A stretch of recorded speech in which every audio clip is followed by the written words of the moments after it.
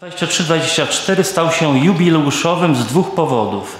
Pierwszy to zwieńczenie stulecia śmierci patrona Instytutu Świętego Arcybiskupa Józefa Bilczewskiego, a drugi to zrealizowany już 15 z kolei rok akademicki.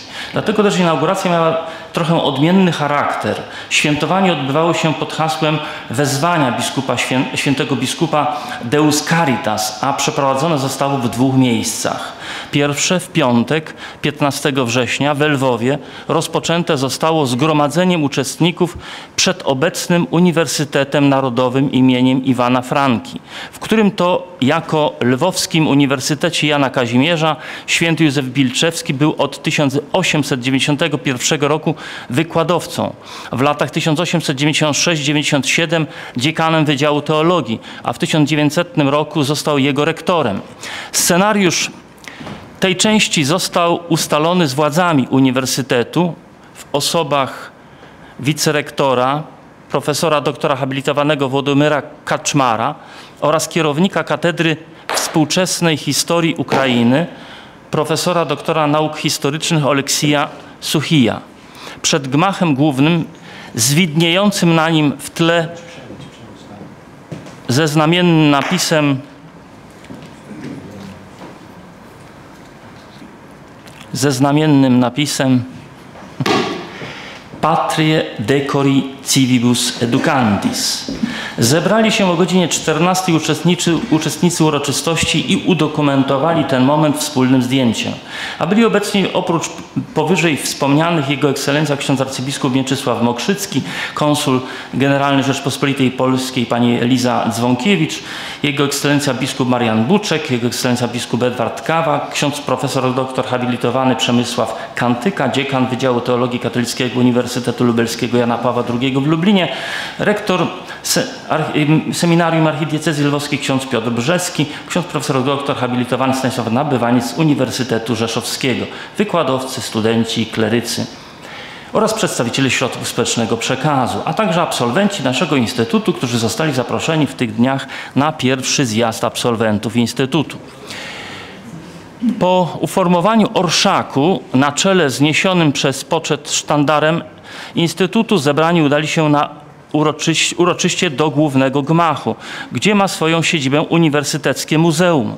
Po przywitaniu dyrektor placówki Juri Chudyma objaśnił zawartość muzealnych zbiorów, wśród których są także portrety rektorów uniwersytetu, a w tym umieszczony również portret rektora Uniwersytetu Jana Kazimierza świętego arcybiskupa Józefa Bilczewskiego.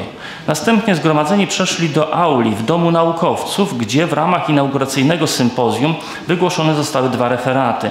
Pierwsze autorstwa księdza profesora doktora habilitowanego Stanisława Nabywańca z Uniwersytetu Rzeszowskiego pod tytułem Łaska, miłosierdzie i pokój w życiu i posłudze metropolita arcybiskupa lwowskiego świętego Józefa Wilczewskiego oraz drugi księdza, e, pana profesora y, doktora nauk historycznych Oleksija Suchija z Uniwersytetu Narodowego im. Iwana Franki Wira i nauka posłania do młodzi ta studenctwa metropolita Andrija Szeptyckoho.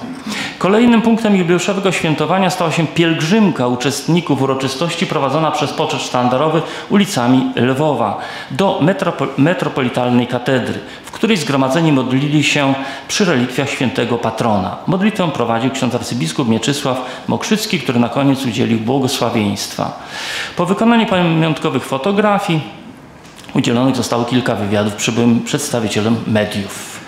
W drugi dzień świętowanie odbywało się już w Brzuchowicach i miało również szczególny charakter. Pierwszym punktem stało się spotkanie zebranych w auli około 20 absolwentów Instytutu z księdzem arcybiskupem Mieczysławem Mokrzyckim oraz księdzem dziekanem profesorem doktorem habilitowanym Przemysławem Kantyką.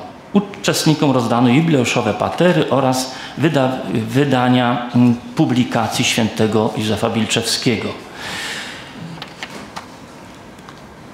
czasie Akademii Inauguracyjnej wykład wygłosił ksiądz profesor doktor habilitowany Przemysław Kantyka pod tytułem Tyś mym synem, jam cię dziś zrodził, wołanie o powrót do biblijnej wizji człowieka. Obrzęd immatrykulacji nowych 19 studentów Instytutu oraz trzech kleryków Metropolitalnego Wyższego Seminarium Duchownego prowadził ksiądz rektor Piotr Brzeski. W imieniu nowych studentów podziękowania na ręce księdza arcybiskupa Mieczysława Okrzyckiego i księdza dziekana złożył przedstawiciel studentów. Inauguracyjne pozdrowienia skierowali zaproszeni goście, w tym również w imieniu absolwentów siostra magister Remigiusza Kowalska, pierwsza starościna grona studentów Instytutu. W roku akademickim 2023-2024 praca dydaktyczna odbywała się nadal w trudnej atmosferze wciąż toczącej się wojny. Dlatego też podstawową intencją akademickiej modlitwy była ta o pokój.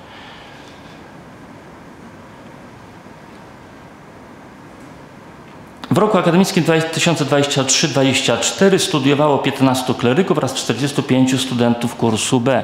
Egzamin ex universa teologia przeprowadzono w Instytucie po raz dziewiąty, a przystąpiło do niego sześciu studentów. Do egzaminu magisterskiego zostali dopuszczeni i obronili pracę magisterską na Wydziale Teologii KUL następujący studenci. Diakoni Petro Deni, Wołodymyr Danyluk, i Roberto Podolski oraz Ichor Babi oraz diakon Petro Hordienko z diecezji łódzkiej. Natomiast z kursu B siostra Oksana Hrynczyszyn, Wasyl Karpa, Natalia Piso, Wołodymyr Swyst, Sofia Hałaś i Krystyna Szewczuk. Lista wykładowców Metropolitalnego Wyższego Seminarium Duchowego oraz Instytutu Teologicznego zawiera grono ponad 60 osób. Rok akademicki 2023-2024 to czas, w którym Instytut organizował również sympozja. To pierwsze inauguracyjne, o którym było już wspomniane, oraz kolejne cztery sympozja, czyli drugie w kolejności. Sympozjum teologiczno-pastoralne Deus Caritas dzisiaj, aktualność refleksji teologicznej pracy duszpasterskiej świętego Józefa Bilczewskiego z uczestnictwem kandydata historycznych nauk Rusłana Dyletyńskiego Iwanowicza, ojca doktora Łukasza Buksy, pani doktor Luby Derdziak, księdza magistra licencjusza Stanisława Choćko, Siedlec, ojca doktora Stanisława Kawy z Lwowa, doktor Orysi Uśki z naszego instytutu. Wyjątkowym wydarzeniem było trzecie z kolei sympozjum, a w formie jubileuszowej konferencji z okazji stulecia od założenia w Lwowie Polskiego Towarzystwa Teologicznego i dziesięciolecia rygowania Rzymskokatolickiego Towarzystwa Teologicznego na Ukrainie.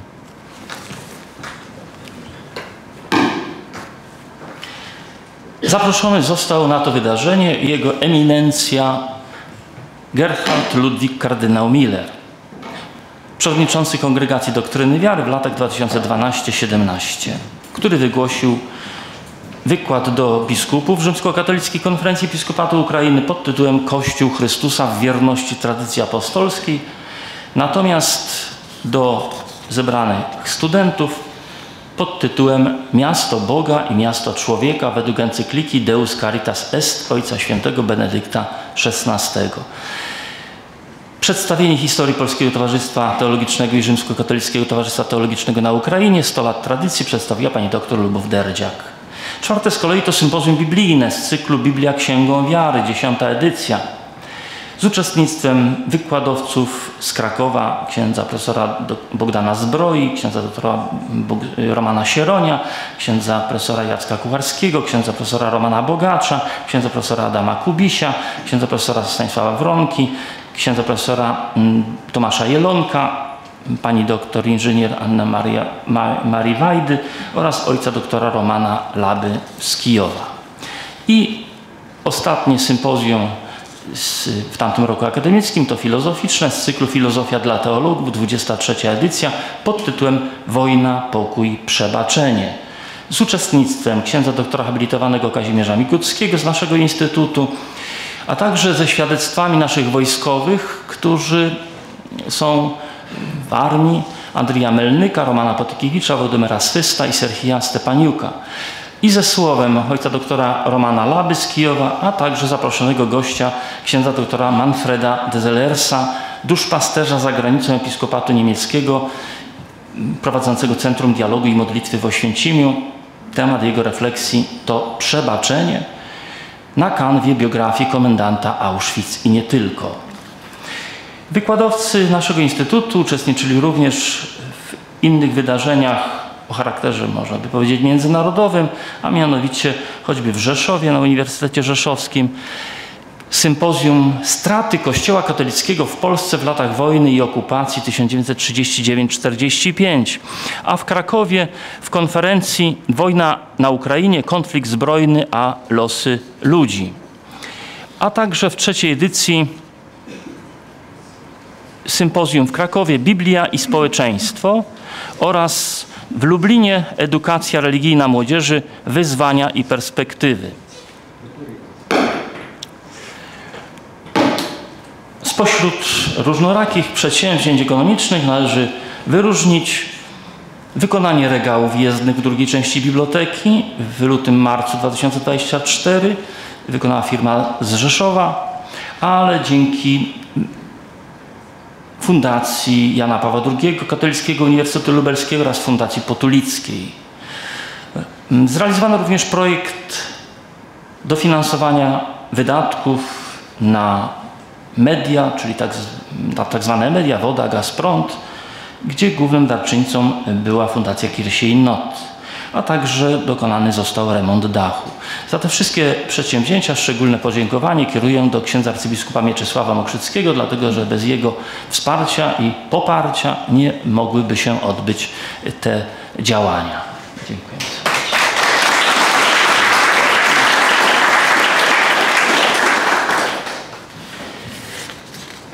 Osobom pełniącym Ważne funkcje służące dobrej pracy Instytutu należy się serdeczne podziękowanie. Pani dr Lubow Kondrak, pracującej w sekretariacie Instytutu, księdzu doktorowi Andrzejowi Beskorowajnemu, zastępcy dyrektora Instytutu, księdzu y, Andrzejowi Jakubczakowi, dyrektorowi biblioteki, pani magister Alinie Zenkner-Makochin, pracownikowi biblioteki oraz kierowcom, y, którzy pomagają w przyjazdach wykładowców a także i studentom, w tym starościnie, studentom Instytutu Jarynie Daczko oraz prowadzącemu stronę internetową Instytutu Juriowi Dziobie. Podziękowania należy także złożyć księdzu doktorowi habilitowanemu Kazimierzowi Mikuckiemu, duszpasterzowi akademickiemu, będącemu jednocześnie spowiednikiem studentów. W tym roku akademickim również działała akcja katolicka, koło studenckie. Zorganizowano również dwie wycieczki, jedną rowerową, pięć osób na trasie Buczluchowice, Birki, Krechiw i autobusową na trasie Lwów-Olesko pod Kamień, Podchorce, Lwów.